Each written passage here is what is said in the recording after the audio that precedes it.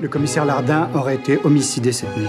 Et se borne strictement à établir sans conteste les conditions de la disparition de votre confrère Lardin. La dame Lardin se trouvait au centre d'un triangle au contour périlleux. A-t-on idée des deux autres points du triangle? Docteur Descartes et puis euh. Le commissaire Lardin a intercepté divers courriers, des documents extrêmement compromettants pour le roi et de nature à porter atteinte à la sécurité du royaume.